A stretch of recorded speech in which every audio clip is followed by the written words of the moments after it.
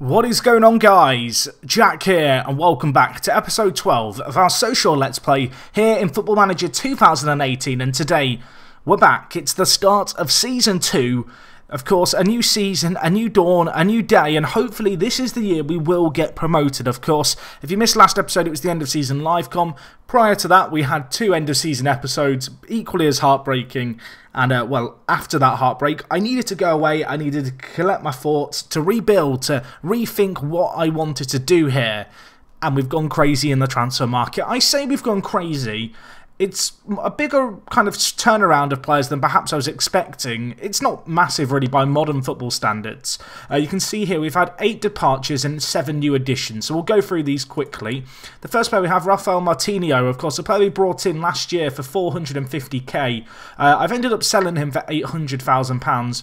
Uh, I struggled to find a spot for him in the first team in the latter half of the season, with Trincao just nailing down the left midfielder spot, and he was a fairly big earner at the club. And, uh, well, £800,000 was money that I needed to reinvest elsewhere. And as we go through these, you'll see that we have reinvested. Anyway, the next player we got rid of was Vasco Costa. He's gone out on loan. We signed him last year. And I thought he was going to be a useful player for us, and it just turned out that we never ever really used him.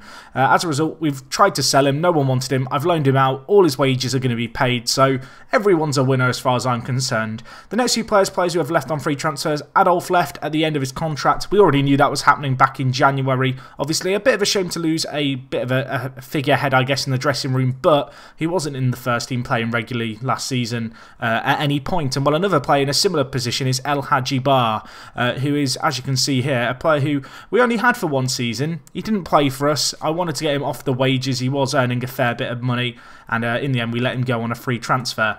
Anyway, the next player, a player I wasn't sure if I was going to sell, Florian Tardieu has left the club. He's left the building. He's gone to Lens, who of course we lost to last episode or two episodes ago in the Ligue 2 playoff final. They actually lost Lens in the kind of overall final to get promoted against a team from Ligue 1. As a result, they are still with us and they've picked up our key man. He wanted to go, he wanted the money. I can't really argue with it. He's going to be earning 10 grand. And, uh, well, we got 850k for him, which for a player who played 24 matches last season, but only averaged a 6.88 average rating, is a pretty good sum of cash here. Anyway, the next player we got, Florin Berenguer, left the club, 29 years old. Another player who I kind of knew I wanted to get rid of at the end of last season. Whilst he is a fairly useful player, um, his wages were just very large, £6,000 in total. Uh, in the end, we've sold him for 120k. The 29 year old was was very underwhelming last year. You can see he was given a number of opportunities in the first team, never really made it count. A 6.95 average rating, so we've let him go.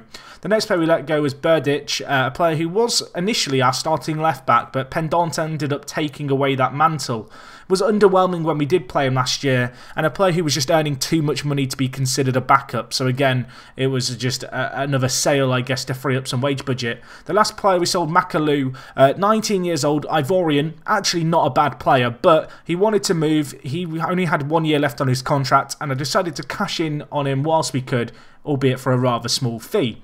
So as you can see, looking at the total money in at 1.9 million, we reinvested that, and a lot of it went on one man. So we'll start with him, Ricardo Martin. As you can see here, signed from Nancy. He's 17, he's absolutely dynamite. Look at this guy and look at his stats. Capped under 19s. You can see looking at him, last year he played 25 games in this division uh, at the age of 16, which is just absolutely ludicrous. He joined us for £2.4 million. It's going to be £1.4 million initially up front, and there are two £500,000 clauses. The first of which is if he plays, I think, 20 games for France's national team, we have to give them half a million pounds. And the other clause is that if we get the, well, if we win the league in the next three years, and he's played 30 of the matches in that season, we have to give them half a million, which I don't think's that bad, all things considering. So 1.4 million up front, a massive fee for someone in our division to pay. As you saw, we did recoup quite a lot of money, and I was prior to even doing any sales given 1.7 million to spend by the board. So I'm pretty delighted to get this guy in. I was expecting them to want way more, but I decided to put in a cheeky bid. Initially they asked for 4 million. I waited a little while, and we've got a really good price for him. Anyway, another player we brought in, Quentin Ducasse. You can see here Ducasse, 17 years old, 15 finishing, 15 acceleration, 14 pace. Of course, we knew he was coming in earlier on last season, um, but good to finally have him here. I think he's going to be a starter for us as well. He's only 17, signed from Bastia for £18,000. We approached to sign in Bastia, of course, a team who have been relegated down five divisions in real life. And well, we snapped him up. Anyway, Carrick, another player we knew was coming in, just a good little kind of youth prospect on a free transfer he might develop. Francisco Deli was the next signing. This guy is a great Mezzala. I mean, look at him here so well suited to this role for this division. 24 years old, Italian. We signed him for a measly £115,000. He only played two games last year in Serie B. I'm not sure what was going on there, but we're going to give him a chance. You can see here, he has the potential to be a decent League 1 centre mid. Currently a good player for most League 2 sides. Delighted about that. Almeida, the next player we brought in, 18 years old, Portuguese youngster. He might be this year's Trincao, this season's Trincao certainly. 18 years old, great centre mid, but a very good advanced playmaker as well, of course. We kind of discovered at the end of last season we didn't have any strength in depth in this role. So with the addition of Almeida and also Ricardo Martin coming in, we suddenly have an abundance of kind of talent in that area of the pitch. Anyway, the next player we have, Isaac Mbenza, uh, a player who I think at one point was a wonder kid. You can see here we've signed him from Montpellier. They actually got relegated last year from League 1, um, so they are in our division. We've paid only £400,000, which I think is a pretty darn good fee. He's a very good player, currently only natural on the left-hand side, but I am training him to play as a striker. And um, well, I'm excited to see what this guy might be able to achieve with us. He's a very well-rounded, fairly small wages as well, only £3,000. So happy about that. And the last player we brought in, another kind of wideman. We've got Paul here. And uh, the reason we brought him in was just for a bit of backup. 24 years old, came in on a free transfer. He's either-footed. Not got a whole lot of potential to fulfill, but he's a good player for this division. And he just offers us a nice option off the bench. You know, either-footed, can play both wings. Flexible. That's what you can say about this guy.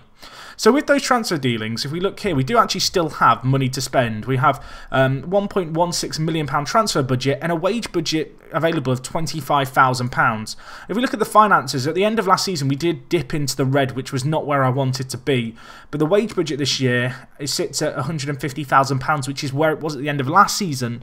We've actually managed to cut and save about 30 million, uh, 30 million. That would be a lot, but £30,000 a week in wages with these transfer dealings. So whilst we have spent 0.1 million kind of net, um, the amount that we've cut off the wages is pretty ludicrous. You know, across an entire season, we've essentially shaved off 1.5 million pounds in wage expenses, getting rid of some of the more experienced players, but players who weren't really in the first team, and bringing in some young guard who had more reasonable demands in their place.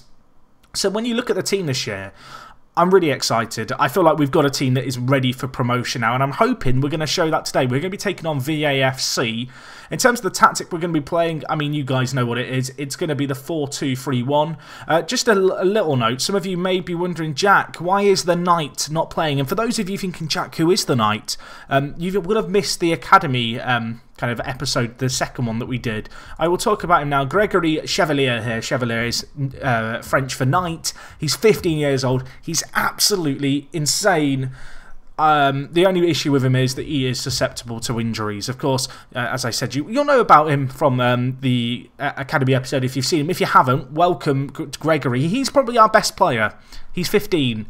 Um, I have got a bit of a big issue, and that big issue is the fact that he can't play in the league till his birthday.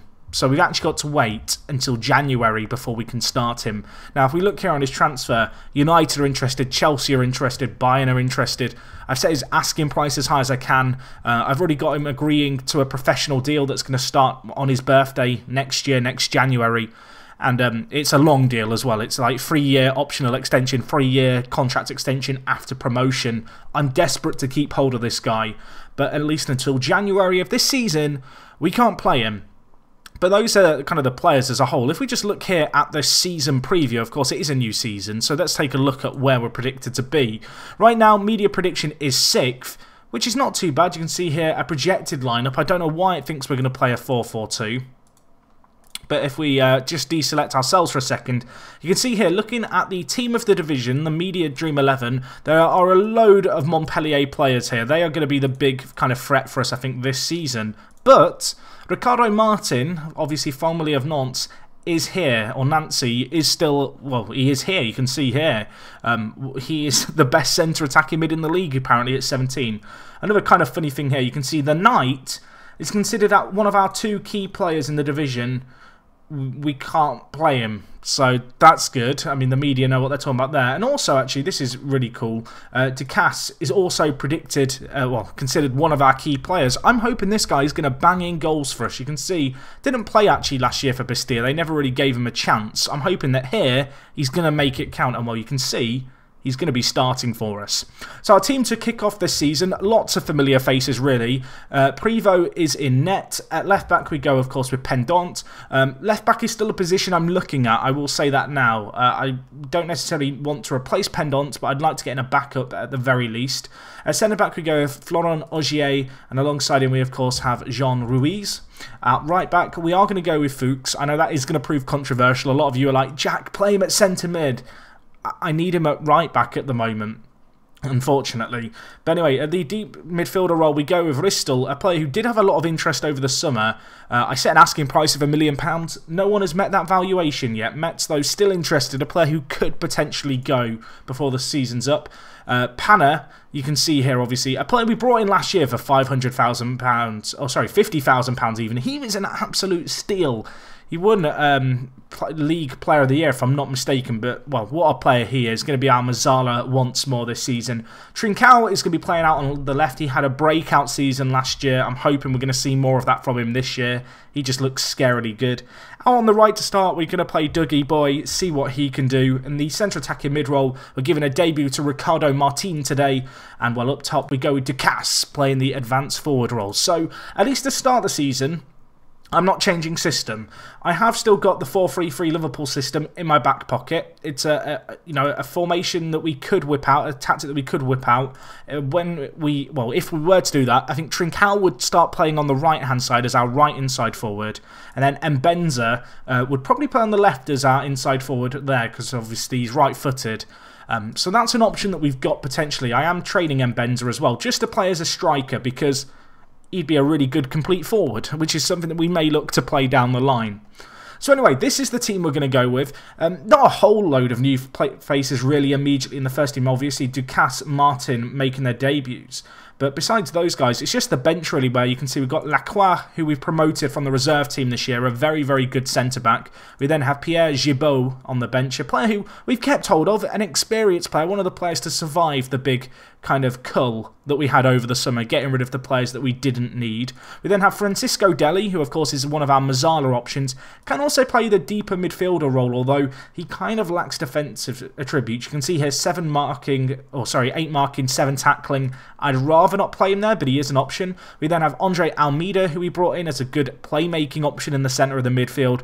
And then higher up the pitch, we've got Axel Actas, and uh, well, alongside him, we've got uh, Kitongo and, of course, Mbenza. So it's a very, very stacked team. A few players have kind of lost their positions. Axel Actas, of course, massive player for us last season, was a really key factor, but he did slow down for the latter half of the year. With Florian Martin coming, oh sorry, Florian, uh, Ricardo Martin coming in. I'm just giving him a random first name, but with Martin coming in here, I mean, you can see that the the difference is just outstanding. Um, it's a bit sad for Axel Actas because I'd like to continue to develop him, but when you're presented with an opportunity to sign a player like Ricardo Mon uh, Martin from Nancy, you kind of have to take it. And with us signing him from Nancy, um, the reason I, he was on my radar really was because in the scout report I had of him from last season, he was really, really hotly tipped. But anyway, this is the team we're going to go with. Big day for Martin, big day for Ducasse. Let's see if we can get this season off with a win. Of course, as I said, um, our media prediction is sixth. The board expectation is playoff, so it's slightly loftier than last year. My personal expectations, I want us to get automatic promotion, and that might be tricky with Toulouse, uh, obviously getting relegated. It's also worth noting that um, I think Lens, who of course we lost to in the playoff final, they have spent £2 million in the summer. So they have gone pretty blooming big. So I'm hoping that despite that, we are going to be able to well give them a good fight and hopefully finish above them in the table. Anyway, let's see how we get on. VAFC, a good team. We actually slipped up against them at the end of last season. Let's see if we can get this season off with a bang. And well, Ducasse, number 10, and uh, obviously Martin as well, making debuts. You may have noticed, eagle-eyed viewers, I've numbered my players quote-unquote correctly. I don't really care about shirt numbers, but I know there's some viewers who desperately do, so I've done it for you. I hope you're happy. And, um, well, hopefully the shirt numbers can give us some luck now. So we are away from home for this game. Not necessarily the easiest game to start with, but VAFC, they finished bottom half last season. They were involved in a little bit of a relegation scrap in terms of they weren't safe until towards the tail end of the season. So we'll see how we get on here. You can see, looking at the stats early on, they're yet to have a shot. We are creating a lot, and we're also bossing possession here. That's what I want to see. But can we see an end product at the end of it? Ducasse Martin, I'm looking at you guys to make an immediate impact, please. An assist for Martin, a goal for Ducasse. I'll be a very happy bunny uh, in this game as well. The game continues to progress on. We're yet to have a highlight, and we've had quite a lot of shots. We've not a whole lot of end products and two centre mids on bookings, which isn't really what we want to see here.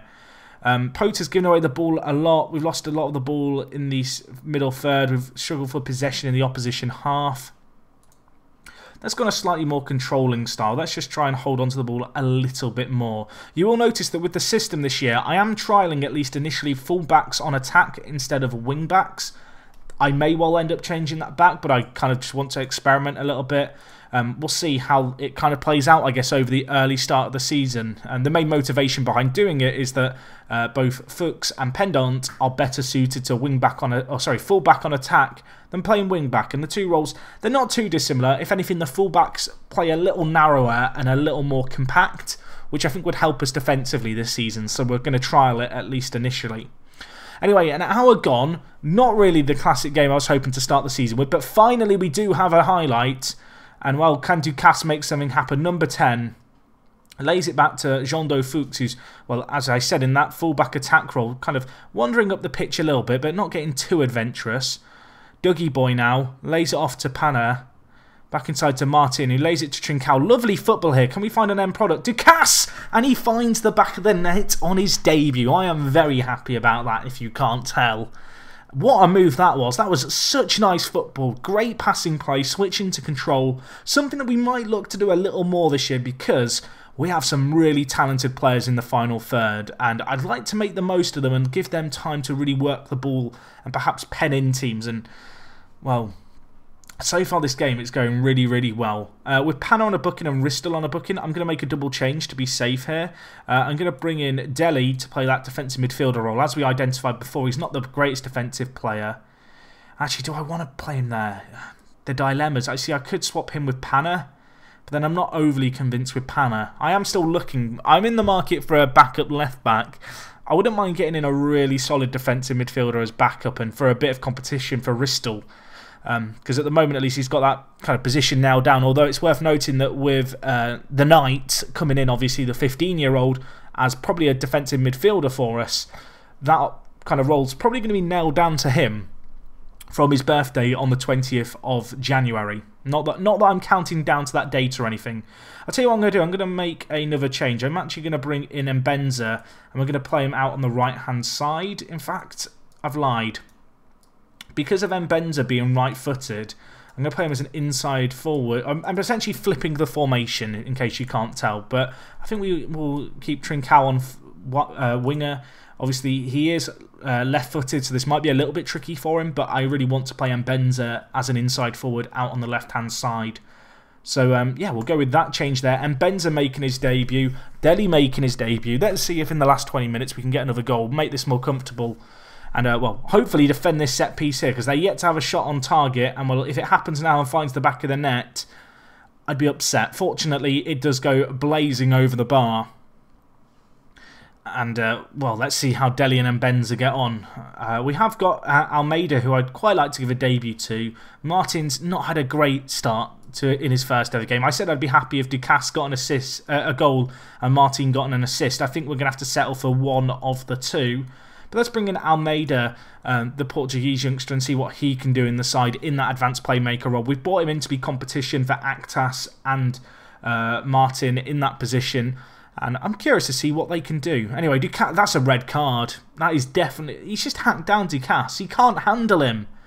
Him off the pitch. He's had a he's had a Ramere there. Do you, do you get? It's like a nightmare, but his name's Ramere. I know, I'm a genius. I'm here all week. Right. Can we get something from the set piece now? That would be nice, wouldn't it? I'd like to make this comfortable so that I don't go into the last two or three minutes thinking, oh my gosh, we're going to get FM'd. If it finishes like this, I'd be happy. We've limited them to just two shots on target all game. It's been a, a pretty commanding performance. Of course, I'd like to just be a little bit more threatening in front of goal. But a win is a win, particularly against a team we slipped up against at the end of last year. Of course, our form at the end of last season was bitterly, bitterly disappointing. Um, so to get things off with a win here was kind of important as far as I was concerned. And it looks like we are going to get that. Maybe we can still get that late goal. Um, we are still pushing forward here in the final third. The possession has evened out in this half. VAFC definitely stepped up their game. But um, it's been still very comfortable, really. We still have a chance here. Ducasse I thought for a second he might find the back of the net. He's going to use his pace actually to beat the defender to the ball and wins a corner. But I do feel like this is just the pointless highlight to end a game. So, I'm pretty. Why is there a giant football over there? And answers on a. Why is there a giant football in the corner? I have no idea. It doesn't matter. It's 1 1 0 here. We've got the result we needed. That sending off late on really didn't change the game all that much. Well done, boys. Very happy with that. You can see Trincao got the man of the match performance. He did uh, get the assist as well on the goal. Only a 7.4 rating, wasn't exactly a great performance, but it gets us off to a winning way to start the season. You can see here other teams winning. Nancy won. Montpellier, who I mentioned, they have been relegated this year. They have a very good team. You can see they've got uh, Paul Lasagna. I'm calling you Lasagna, that's the name we're going with. Uh, he's very good at centre mid. Uh, I don't know if they've kept hold of their goalkeeper, Benjamin Lecomte, because he's a very good goalkeeper in FM terms. Um, looks like they have kept hold of him, at least for now. So I, I guess they'll be happy with their team. Their team is very good, and they are going to be tricky to beat this year, but we'll see what we can do. They've also got Nigel de Jong. An odd team, Montpellier. I don't know when we play them, but that will be a really interesting game to see us take them on. It looks like actually it's not going to be until November, and then we have them towards the end of the season as well. So We've got that to look forward to. In terms of when we'll be back, I'm not entirely sure. I'm going to play it by ear at least initially, kind of see what teams emerge as challenges around us, wherever we end up emerging as well, I guess, in the league table and uh, well, we will continue things from there. Hopefully, you did enjoy this episode. Please do let me know what you made of the transfer business. All in all, you know, we've spent a little bit of money. I have got room to spend more money, and there is lots of wage budget in excess. Ideally, I'd like to save that a little bit. But um, as I mentioned before, I'd quite like to get a new left back. I feel like when you look at the squad depth here, all in all, it's pretty solid in a lot of areas, but the left back position definitely an area of concern. As well as the centre defensive mid position, at least until the Knight is able to play for us on his birthday. I mean, we'll have to wait around for that. But um, yeah, generally speaking, across the team here, you can see we've got some good strength everywhere. You know, a few players who fill in, fill in multiple positions. But I feel like we've got a first team that if we don't have a major injury crisis, even calling upon some of the backups, should really be pushing for promotion this year. But anyway, guys, that's going to be all from me. Hopefully you did enjoy. Leave a like if you did. Uh, obviously, subscribe if you're new around here. And other than that, it is me, Jack, and I will talk to you guys in a bit. I'm out.